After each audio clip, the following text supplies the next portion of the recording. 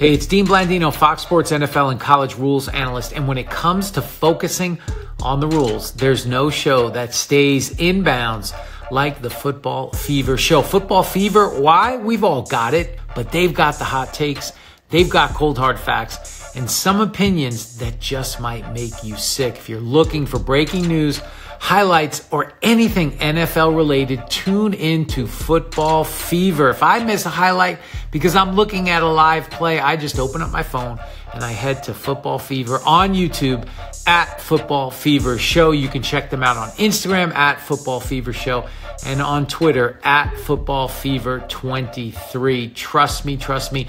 Good communication, it's the best medicine. So let's talk football. Shout out to the folks at the Football Fever Show. Keep up the good work and keeping it clean at all times. Go check them out. Trust me, you won't regret it you